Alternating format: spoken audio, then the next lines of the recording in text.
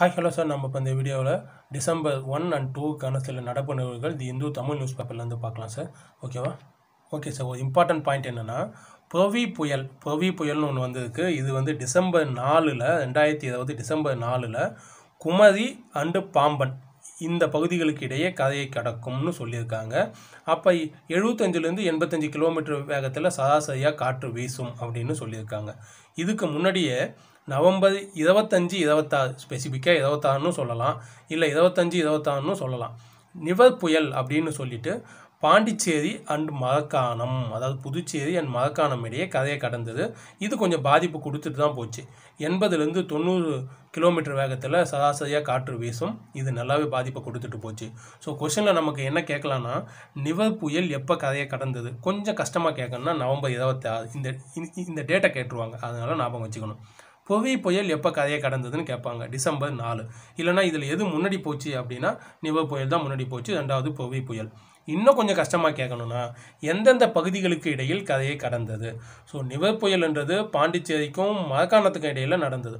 புவி புயல்ன்றது குமரிக்கும் பாம்பனுக்கும் இடையில் கதையை கடக்குது. இது ரொம்பவே முக்கியமான பாயிண்ட் சார் எஸ் இப்போ டெல்லியில் விவசாயிகள்லாம் போராட்டம் பண்ணுறாங்க இல்லையா? அதனால் இந்த பாயிண்ட் நமக்கு ரொம்பவே முக்கியம். என்னென்னா மத்திய வேளாண் அமைச்சர் யார் அப்படின்னா நரேந்திர சிங் தோமர். இவரை நம்ம சும்மா தெரிஞ்சு வச்சுக்கணும். ஒரு பாயிண்ட் மத்திய ரயில்வே அமைச்சர் அப்படின்னு கேட்டிங்கன்னா பியூஷ் கோயல். இவரையும் தெரிஞ்சு வச்சுக்கணும். சும்மா போக போக்கில். ஓகேவா இன்னொரு முக்கியமான பாயிண்ட் சார் டிஎன் கிருஷ்ணன். யார் இந்த டிஎன் கிருஷ்ணன்னா இவர் ஒரு வயலின் இசை கலைஞர் சார் கர்நாடகத்தை சேர்ந்தவர் ஒரு வயலின் இசைக்கலைஞர்.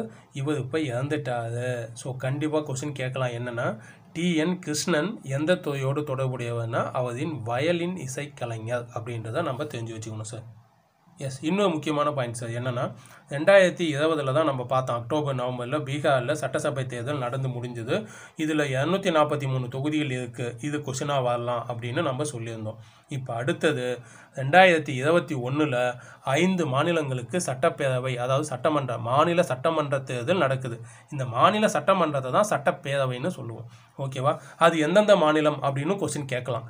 ஒன்று தமிழ்நாடு இன்னொன்று கேரளா இன்னொன்று பாண்டிச்சேரி தான் புதுவைன்னு சொல்கிறாங்க மேற்கு வங்காளம் அதை தான் மேவான்னு சொல்லியிருக்கேன். ஸோ அசாம் இந்த ஐந்து மாநிலங்களில் தான் நடக்க போகுது.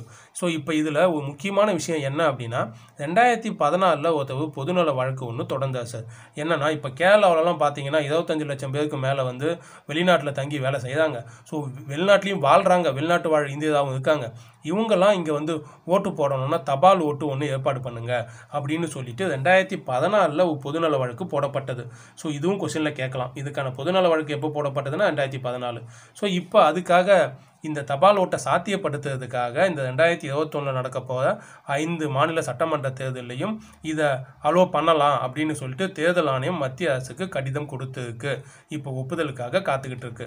இதை தான் ஷார்ட்டாக சொல்லணும்னா இதில் வெளிநாட்டு வாழ் இந்தியர்களுக்கு தபால் மூலம் வாக்களிக்க ஏற்பாடு. அதை தான் இடிபிபி அப்படின்னு சொல்கிறோம் இடிபிபி அப்படின்ற எழுத்தை பார்த்தா நம்ம வெளிநாட்டிலேருந்து இங்கே ஓட்டு போடலான்றதை சொல்லணும்.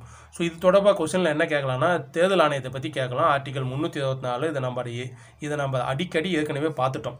ஓகே சார் இப்போ முக்கியமாக இன்னொரு மேட்ச் ஃபாலோவிங் கேட்கலாம். என்னன்னு கேட்டிங்கன்னா இந்த ஐந்து மாநிலத்தையும் ஒரு பக்கம் கொடுத்துட்டு இந்த பக்கம் அவங்களுடைய சட்டமன்ற தொகுதிகள் எத்தனை அப்படின்னு சொல்லிட்டு மேட்ச் பண்ண சொல்லலாம். தமிழ்நாடுனா நம்ம ஈஸியாக சொல்லிடுவோம். இரநூத்தி முப்பத்தி நாலு தொகுதி இருக்குது ஆனால் இரநூத்தி முப்பத்தஞ்சு உறுப்பினர்கள் அந்த ஒன்று யாருன்னா ஆங்கிலோ இந்தியர் ஓகே. அது உங்களுக்கு ஈஸியாக தெரியும். இங்கே பாண்டிச்சேரியில் எத்தனை சட்டமன்ற தொகுதினா முப்பது சட்டமன்ற தொகுதின்னு சொல்லிடுவோம்.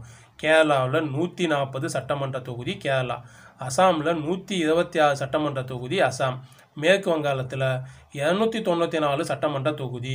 ஸோ இப்போ சப்போஸ் இந்த குரூப் ஒன்றில் கேட்காங்கன்னு வச்சுக்கோயேன் வரிசைப்படுத்துக்கன்னு சொல்லிடுவாங்க. மேலேருந்து கீழே இல்லை கீழே இருந்து மேலே அப்படி இல்லைன்னா ஏழு வரிசை இறங்க வரிசையில் வரிசைப்படுத்துக்க அப்படின்னு கேட்டுருவாங்க. ஸோ ரொம்ப கஷ்டமாக கேட்கணுன்னா இதை கேட்டுருவாங்க. நாம் அதனால் இந்த எண்ணிக்கையை தெரிஞ்சு வச்சுக்கணும். இரநூத்தி தொண்ணூற்றி நாலுனா மேற்கு வங்காளம் நூற்றி இருபத்தி ஆறுனா அசாமு நூற்றி நாற்பதுனா கேரளா முப்பது பாண்டிச்சேரி இரநூத்தி முப்பத்தி நாலுன்றது தமிழ்நாடு. இதை மாற்றி போட்டால் இரநூத்தி நாற்பத்தி மூணுன்றது பீகார். நம்ம நம்ம ஏற்கனவே பார்த்தோம் இல்லையா? Okay done. இன்னொரு பாயிண்ட் பார்க்கலாம் சார். எஸ் இன்னொரு முக்கியமான பாயிண்ட் சார் ரெண்டாயிரத்தி இருபத்தி ஒன்றில் இந்தியாவில் பதினேழு வயதுக்கு உட்பட்டோர் மகளிர் உலகக்கோப்பை கால்பந்து போட்டி நடக்கிறதா இருந்துச்சு. ஆனால் அந்த கொரோனா பெருந்தொற்றால் சர்வதேச கால்பந்து கூட்டமைப்பு தான் பீஃபான்னு சொல்லுவோம் இல்லையா? இந்த பீஃபா என்ன பண்ணியிருக்கு? இந்த ரெண்டாயிரத்தி இருபத்தொன்னில் நடக்க வேண்டிய போட்டியை ரத்து பண்ணிடுச்சு. அதை தூக்கிட்டு ரெண்டாயிரத்தி இருபத்தொன்னில் நடக்கட்டும் அப்படின்னு சொல்லிட்டு தள்ளி வச்சுட்டாங்க.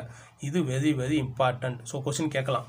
ரெண்டாயிரத்தி இருபத்தொன்னில் எந்த உலகக்கோப்பை கால்பந்து போட்டி இந்தியாவில் நடக்க இருந்ததுன்னா பதினேழு வயசுக்கு உட்பட்டோருக்கான மகளிருக்கான கால்பந்து போட்டி. அதை ரெண்டாயிரத்தி இருபத்தொன்னில் தள்ளி வச்சுட்டாங்க. போஸ்ட்மான் பண்ணிட்டாங்கன்றது தெரியணும் சார். ஓகே வீடியோ பிடிச்சிருந்தா சேனலை சப்ஸ்கிரைப் பண்ணிக்கோங்க. ஃப்ரெண்ட்ஸ் கூட ஷேர் பண்ணுங்கள் தேங்க்யூ பாய் சார்